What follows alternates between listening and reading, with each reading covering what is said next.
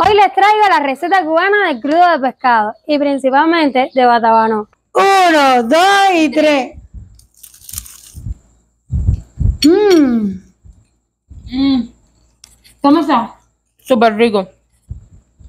Qué rico, caballero, qué rico. Y como tiene jugo, Jugosito. ¿cómo está? Riquísimo.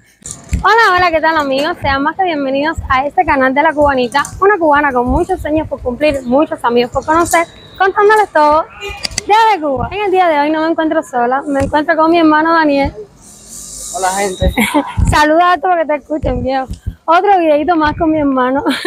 y bueno, estamos en las calles de Batabano, que quiero hacer un video muy entretenido, así que espero que les guste y que se queden hasta el final del video. Mi nombre real es Catherine y si eres nuevo por aquí, te invito a formar parte de esta preciosa familia que vamos a ir formando poco a poco. Así que si estás interesado, te invito a darle clic al botoncito de abajo que dice suscribirse en rojo y activa la campanita para que no te pierdas ninguno de mis videos. ¿Alguna vez te han hablado del crudo de pescado? o tal vez has tenido la posibilidad de probarlo. Pues en el video de hoy te traigo la receta desde aquí, desde Batabanó, desde la parte sur de Cuba. Y bueno, espero que te guste y voy a tratar de hacerla con los materiales que pueda conseguir porque como ustedes saben es bien difícil. Pero bueno, voy a hacer todo lo posible para que ustedes les salga también en sus hogares. Lo primero que hice es ir a comprar una jabita. Como ustedes saben, el cubano a esto le dice java en otros países le dicen bolsas o no sé, déjenme saber en su país cómo le llaman a esto que yo tengo aquí en mis manos. Aquí se le dice javita. Y bueno, ahora vamos a estar por todo Batamano buscando los ingredientes que necesitamos para hacer la receta de hoy. No es fácil, mi gente. Ahora empezó a llover. No, no es fácil. Pero imagínense ustedes que estamos esperando lo del ciclón ese, el dichoso ciclón que ya lleva varios días y nosotros aquí esperando la lluvia y todavía no ha llovido. Y bueno, ahora que yo estaba grabando el video, se puso a llover. Miren para allá. Menos mal que me cogió el aguacero en mi casa. Miren esto. Miren qué personaje les traigo aquí. Pues le presento a mi papá. Saluda ahí. Todo bien aquí en la lucha. Bueno, aquí es donde yo nací, viví y crecí hasta que me casé y me fui, como yo digo el poema de siempre.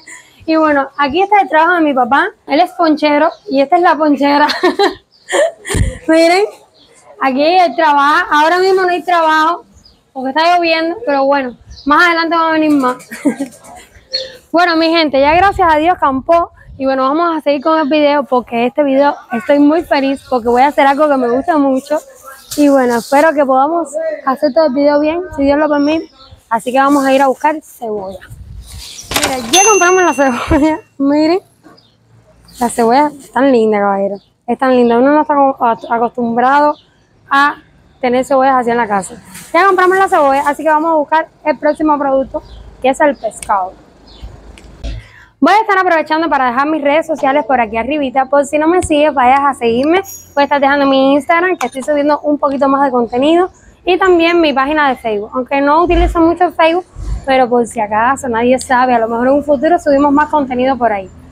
También siempre dejo en la cajita de descripción mi WhatsApp, por si alguna persona esté interesada en escribirme y así podemos charlar un rato, que aquí por YouTube no puedo hablar así con la gente y bueno, espero que me dejen su apoyo por allá también y bueno, un besito bien grande. Para hacer esta receta lo que más eh, se recomendaría es comprar pescado eh, de masa blanca, pero bueno, aquí es complicado conseguir eso. A veces sí se encuentra, pero hay que buscarlo bien, bien, bien. Y como quiero hacerlo en este video para que otras personas lo puedan hacer en otros países, es, comprando eh, atún. Lo vamos a hacer con atún que bueno, ya no sería crudo de pescado, se le llama aquí periquito, pero bueno, le voy a estar dando la receta cómo hacer el crudo de pescado en este video. Así que vamos a hacerlo y espero que lo puedan hacer en su casa y después me digan si les gustó o no les gustó. Así que vamos a buscarlo. Yo soy muy extraña con las comidas y a lo mejor ustedes me dirán cosas en los comentarios, pero quiero comentarles, yo no soy de comer ni carnes ni nada de eso. A mí me gusta más lo que es ensalada, las viandas y bueno, porque vivo en Cuba. y bueno, caballero, a mí no me gusta el pescado, sin embargo, el crudo del pescado me encanta. Es lo que más me gusta a mí y para comer con galletica o con cualquier cosa que sea rico, pues a mí me gusta muchísimo. Por eso quise hacerle este video y así ustedes pueden conocer un poquito más de mí y también pueden hacerlo en sus hogares. Y si no conocen de esta receta, pues la prueben por la cubanita. El cubano acostumbra hacer mucho esto cuando es un cumpleaños o a veces en fin de año Eso es algo que le gusta mucho para compartir con la familia. A veces uno lo hace para la casa, pero bueno, como en Cuba no podemos darnos ese lujo de estar comprando estos productos que son un poquito más caros, pues eh, a veces uno lo hace cuando puede y así se da un gustico. Buena. ¿Tienen atún? ¿Atún? Sí. Eso es lo que hay de, de los abajo. Ponme tres laticas. Bueno, ya gracias a Dios logramos comprar el atún, que miren las laticas, qué chiquiticas. Pero bueno, fue la que pudimos conseguir. Estas laticas son hechas en Perú, así que un saludo bien grande para todas las personas de Perú. Y bueno, déjenme saber en los comentarios si tú eres de Perú, para mandarte un saludito. Y bueno, de cualquier país que sea. Casi siempre uno hace crudo de pescado con pescado de masa blanca, o sea, picúa o, o macabí o algunos pescados así que son los más recomendados. Pero bueno, hoy lo vamos a hacer con atún porque aquí no he encontrado pescado y somos un pueblo de pescado. Pero bueno, ustedes saben cómo es todo. También le compré estas chucherías al niño, se le hizo así confitura, algo de porque el niño me tiene loca en la casa, que si es reloj, que si es reloj. Pues estos son unas pastillitas de chocolate y bueno, y esto es un muñequito ahí que lo vi para que se entretenga en la casa, para que se quede tranquilito para yo poder hacer la receta.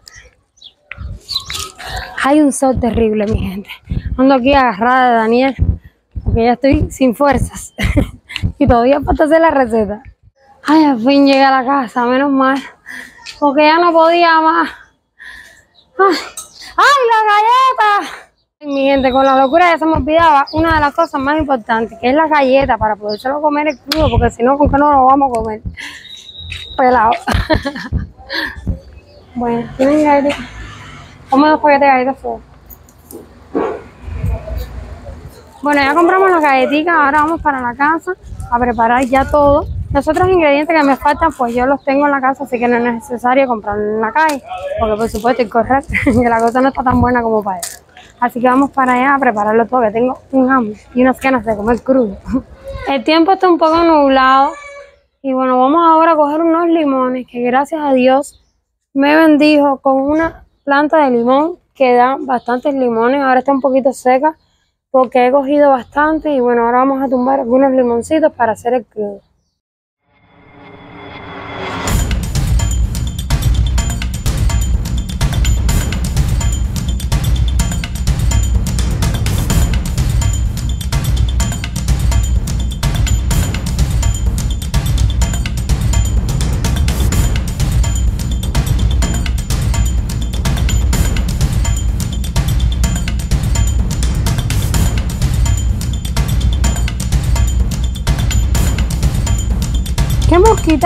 Miren esto, mi gente. ¡Ay, se me... ¡Ay! Miren esto. ¡Qué limones más grandes y más lindos los que Dios me ha dado a mí! Miren esto, qué lindo. Limones criollos. Estos limones son lo mejor. Está súper rico el sabor que le da crudo. Ay, sin esto no se puede hacer crudo. Miren todos los limones que cogí, mi gente. Y miren qué lindos están. Tienen bastante jugo. Vaya, Dios me ha bendecido con esta mata de limón o planta de limón, porque de verdad estoy súper agradecida con Dios por la cantidad de bendiciones que me ha dado. Y miren cómo yo terminé, bañada en sudor. Cuando ya vaya a hacer la receta ya no tengo fuerza de nada, porque esto es una receta que es muy rica, pero lleva trabajo. Bueno, estos son los ingredientes que necesitamos. Un bol para prepararlo con una cucharita aceite, no es tanto aceite, son como tres deditos nada más, jugo de limón, que ya como ustedes vieron que cogí el limón, la sal, pimienta, cebolla y pescado, que sería más recomendable que fuera pargo o cubera o picúa o macabí, pero bueno, como nosotros no pudimos conseguir, hicimos esto con atún, que es más asequible para otras personas. Lo primero que hacemos es abrir las laticas de atún. Y bueno, si usted lo va a hacer con pescado de masa blanca, pues es sacarle la masa y echarla en el bol. El agüita del atún se lo quitamos, lo exprimimos bien y bueno, esa agua hay que botarla. Ya exprimido y botado todo el jugo, pues se echa todo el atún en el bol. Ahora cogemos y desmenuzamos todo esto que quede lo más suertecito posible. Así como están viendo.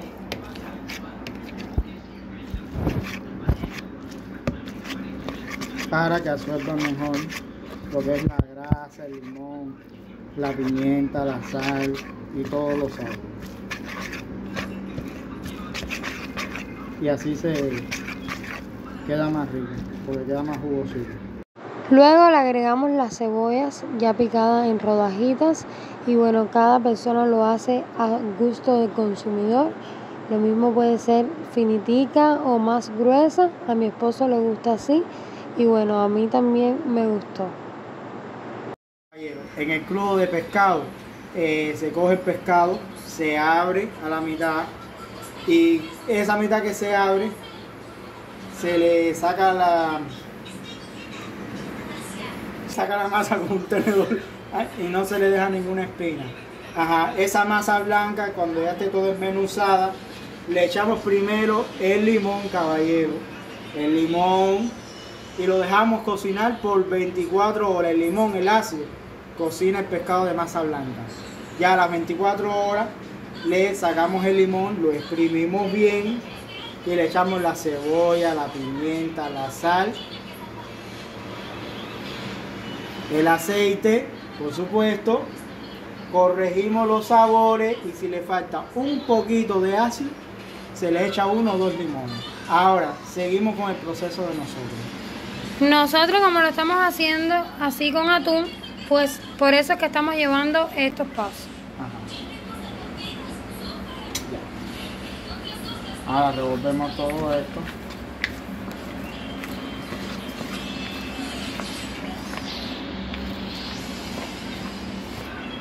Empezamos a introducir ya lo que es el limón.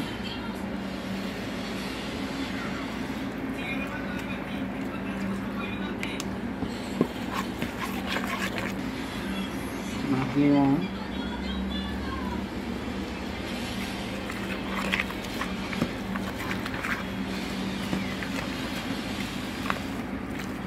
Al final jaló todo el limón. Yo, Viste que al final llevo 10 limones. Lo revolvemos bien. Ahora procedemos a echarle la sal. Miren, una cucharada de sal. Lo revolvemos bien todo.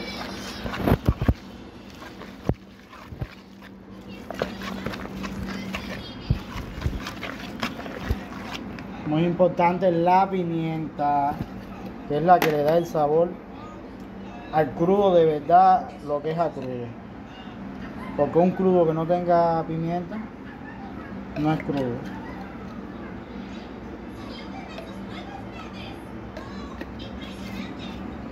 Esto siempre hay que estar batiéndolo, cabrero, para que se le pegue todo los. Revolviendo.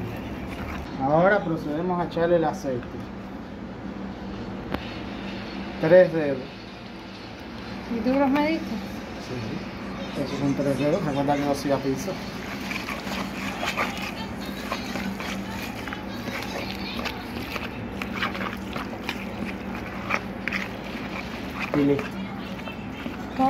Cosas se las agrega al crudo de pescado ya después que pase 24 horas Ajá. de estar cocinado con el limón. Ajá. Esto viene llamándose aquí periquito. Periquito. Porque es hecho con pescado de masa negra. O sea, atún, eh, atún, chicharro, cualquier pescado de masa negra. Jurel. Por eso es que se llama periquito. Ya, y se deja así hasta mañana. No, se deja así por dos horas.